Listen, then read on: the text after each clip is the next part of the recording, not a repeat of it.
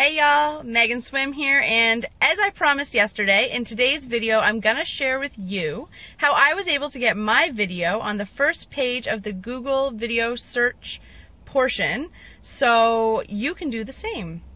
So for the video, step number one, to get it uploaded onto YouTube and be able to position yourself to be in the first or one of the at least on the first page but hopefully within the first couple of spots. And first i want to shout out john penberthy and the unstoppable family and the unstoppable mastermind and the empower network and and all justin and dee varengia and all those great leaders. That is where i learned this strategy from and i want to say thank you for that.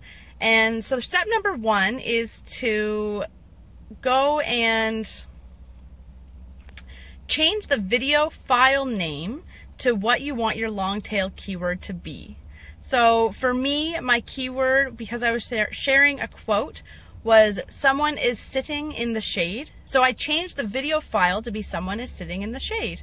I then uploaded that video file and made the YouTube description, like the title of the video, the exact same thing. Someone is sitting in the shade. So that's step number two. Make the YouTube video title the same as the file title, which is your long tail keyword.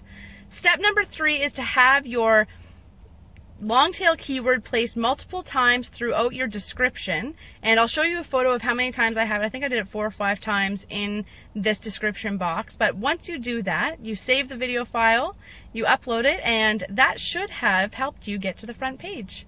So I hope you found value in this video and I hope you try out my tip. I'm actually going to do it for this video and hopefully I can get on the first spot again and I will share my results once I've done it.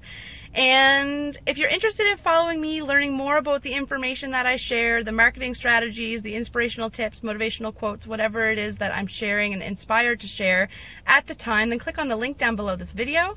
And I look forward to talking to you soon. Have a great day.